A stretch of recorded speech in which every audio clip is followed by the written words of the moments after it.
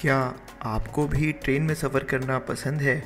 अगर हाँ तो आपको भी साथ में चलती ट्रेन देख कौन सी ट्रेन आगे निकलेगी वाली एक्साइटमेंट तो होती ही होगी।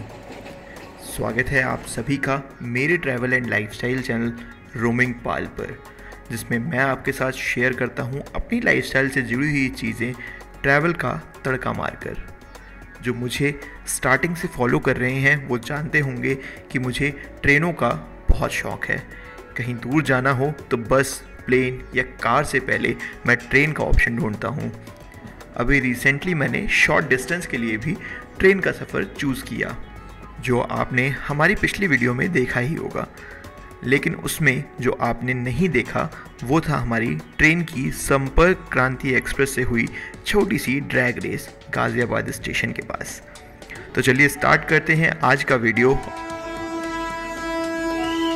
और आपको दिखाते हैं वही ट्रेन की रेस जिसे देखने में मुझे बहुत मज़ा आया। यूँ तो एक संपर्क क्रांति मुझे नई दिल्ली स्टेशन पे भी दिखी थी, जो एर्नाकुलम से अपना सफ़र तय करके आई थी।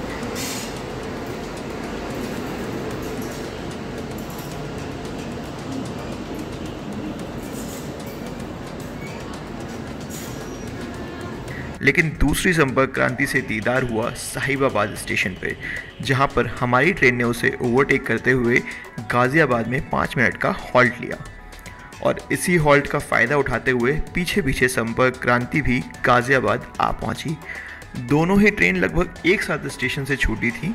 संपर्क क्रांति धीरे धीरे स्टेशन से चल रही थी और हमारी ट्रेन तेज़ी से उसे पीछे करने में लग गई। हम आगे निकलना स्टार्ट हुए ही थे कि संपर्क क्रांति के ड्राइवर ने शायद हमारी ट्रेन देख ली।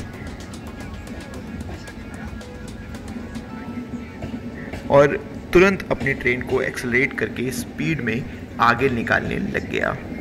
ये ट्रेन मुजफ्फ़रपुर जा रही थी और हम मुजफ्फ़रनगर, इसलिए ट्रेन हमें दोबारा नहीं दिखी और अपनी स्पीड से दूसरी ओर निकल गई।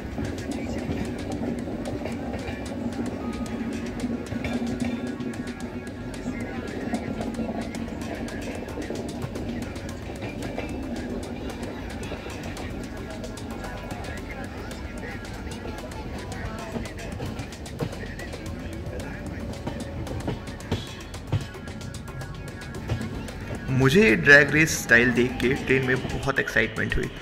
उम्मीद करता हूँ आपको भी कुछ सेम एहसास हुआ होगा।